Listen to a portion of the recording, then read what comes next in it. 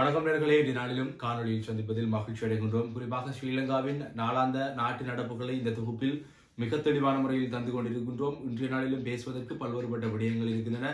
முக்கியமாக ஸ்ரீலங்காவை எடுத்துக்கொண்டால் ஸ்ரீலங்காவில் இன்னும் இந்த மின்சார தடைக்கான தீர்வு இன்னுமாக கிடைத்த பாடில்லை. அது ஒரு இருக்கட்டும். அண்மையில் உயர்தர பரீட்சை மாணவர்களுக்கு எதிர்வரும் ஏழாம் தேதி பாடசாலை அதாவது உயர்தர பரீட்சைகள் ஆரம்பமாக இருக்கின்றன. அதற்காக பாடசாலைகளுக்கு விடுமுறை வழங்குவதற்கு அரசாங்கம் தீர்மானித்திருக்கிறார்கள். அது தொடர்பில் தான் முதலாவது செய்தியாக பார்க்க போகின்றோம். நாடளாவிய ரீதியில் உள்ள பாடசாலைகளுக்கு விடுமுறை வழங்க தீர்மானிக்கப்பட்டுள்ளதாக கல்வி அமைச்சு தெரிவித்திருக்கிறது. இரண்டாயிரத்தி இருபத்தி ஓராம் ஆண்டிற்கான கல்வி பொதுத்தராதர உயர்தர பரீட்சை நடைபெறவுள்ள காலப்பகுதியில் இந்த விடுமுறை வழங்கப்பட உள்ளதாகவும் குறிப்பிடப்பட்டிருக்கிறது. எனினும் குறித்த காலகட்டத்தில் பாடசாலைகளில் ஆரம்ப தரத்திற்கு விடுமுறை வழங்கப்பட மாட்டாது என்றும் கல்வி அமைச்சு வெளியிட்டுள்ள அறிக்கையில் சுட்டிக்காட்டியிருக்கிறார்கள். எவ்வாறெனினும் ஆரம்ப தரத்திற்கான கற்றல் மற்றும் கற்பித்தல் நடவடிக்கைகளை முன்னெடுக்கும் போது பரீட்சை சூழலை பேண முடியாவிட்டால் சம்பந்தப்பட்ட அதிபர்கள் வலயக்கல்வி பணிப்பாளர்கள் ஊடாக மாகாண கல்வி பணிப்பாளர்களுக்கு அறிவிக்க வேண்டும் எனவும் தெரிவிக்கப்பட்டிருக்கிறது. அதே போன்று ஸ்ரீலங்காவில் இந்த அத்தியாவசிய பொருட்களின் விலையானது நாளுக்கு நாள் மலை போன்று உயர்ந்து செல்கிறது.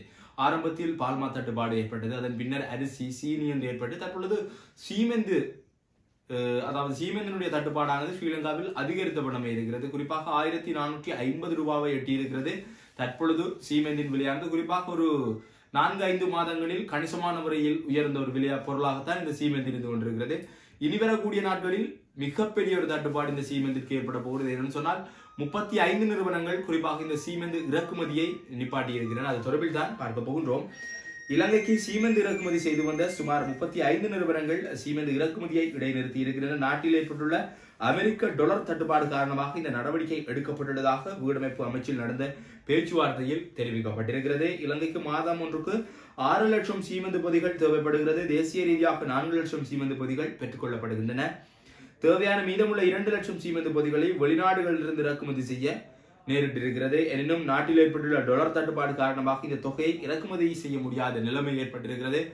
ஒரு குறித்த ஒரு பொருளின் இறக்குமதியானது ஸ்ரீலங்காவில் கிடைக்கா விட்டால் நடைபெறா விட்டால் அந்த பொருள் மிக பாரிய விலைக்கு செல்லும் என்பதில் எந்தவித மாற்று கருத்துக்களும் இல்லை. இறக்குமதி நடக்கின்ற பொழுதே சீமெந்தின் விலை இவ்வாறு இருக்கின்ற பொழுது இறக்குமதி செய்யாவிட்டால் சீமெந்தின் விலையை நாங்கள் நினைத்து கூட பார்க்க முடியாத நிலை இருக்கிறது. அதையும் நாங்கள் ஞாபகப்படுத்திக் கொண்டு தனியார் துறை ஊழியர்களுக்கு தொழில்துறை அமைச்சிடமிருந்து ஒரு முக்கியமான மகிழ்ச்சி தரக்கூடிய செய்தி ஒன்று வழியாக இருக்கிறது.